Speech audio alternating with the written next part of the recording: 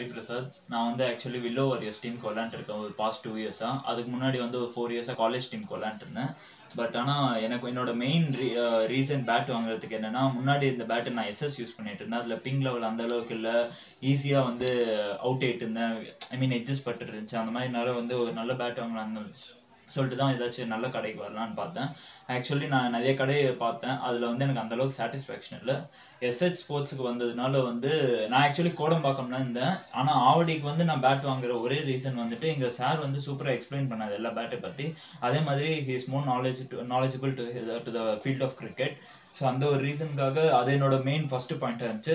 Second point வந்து என்னோட சத் என்ன என்னோட ரோலுக்கு எந்த பேட் வந்து கரெக்டாக இருக்கும்னு சொல்லிட்டு சார் நல்லா ப்ராப்பராக சஜஸ்ட் பண்ணாது எனக்கு.